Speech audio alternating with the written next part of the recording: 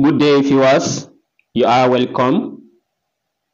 How to solve these nice interesting nested radical equations where we have square root of a inside square root of a inside square root of a equals 3. And to find the value of a that satisfies this, we are going to apply two different methods. So let's see method 1. So for the text method, what we are going to do here is we try to take the square of both sides. As we have this as root a multiplied by root a inside root a, then we take the square of this equals 3 squared. And next we have when this square cancels square roots, so at this point we have a root a root a equals 3 squared. Then we have to take another square of this for the second time as we have this as a root a root a raised to power of 2 equals 3 to the power of 2 all raised to power of 2. So when this a takes squared, so this one also we take squared. I mean root a multiplied by root a raised to power of 2 equals 3 to the power of. So for this one, these two we multiply 2 and we get 4. So then this square and uh, square root cancelled as we have this as a squared multiplied by so this one remains a Why this one is root a equals 3 to the power of 4 so looking at this we have a square multiplied by a and this is root a. So we want to get rid of this root again. So we have to take another square of both sides.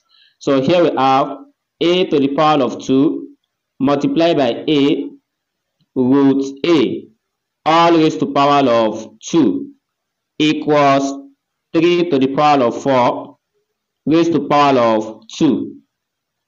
So here we have a to the power of 2, we take 2, and here we have a to the power of 4.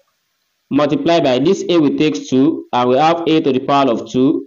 Multiply by, so the root a we also take power of 2 and everything equals 3 to the power of. So when 4 multiply 2, we get 8.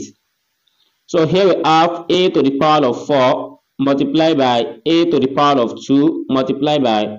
So this cancelled as we have this as a equals 3 to the power of 8. So for this one, which is a, it is raised to the power of 1. So thereby, we apply the rule of exponent which is product rule as we are going to add the powers together so here we have a to the power of 4 plus 2 plus 1 equals 3 to the power of 8 so here we have a to the power of 4 plus 2 plus 1 that gives us 7 equals 3 to the power of 8 and to get the value of a here since we only need the real solutions not the complex solution so what we do here is we have to take the seventh root of both sides.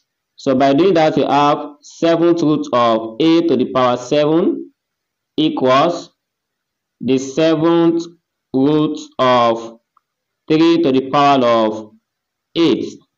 So when this cancelled, we get the value of a here, which is equals 3 to the power of 8.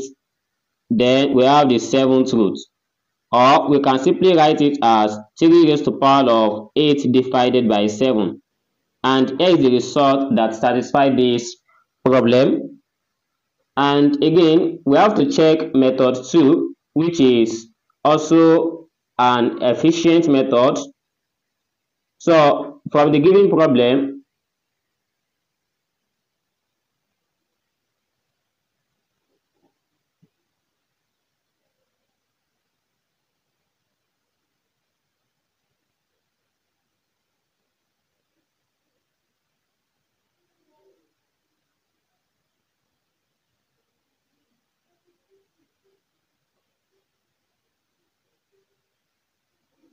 So from the given problem, we have this. So we can separate this as the first one, which is a here, we can separate it as root a, then followed by, so this root inside, it has already covered with this bigger root. Then we write that one as root of root a multiplied by, while the last one, it is covered by two different roots, with this making three. Then we write it as root of root of root a equals 3. So we should note that for every root, it means the power of 1 over 2. So for the first one, we have it as a to the power of 1 over 2 multiplied by, so why this one, we are going to write it as a raised to power 1 divided by 4 multiplied by the last one is a raised to power of 1 divided by 8 equals 3. Then by rule of exponent again, we have a to the power of 1 divided by 2 plus 1 divided by 4 plus 1 divided by 8, everything equals 3.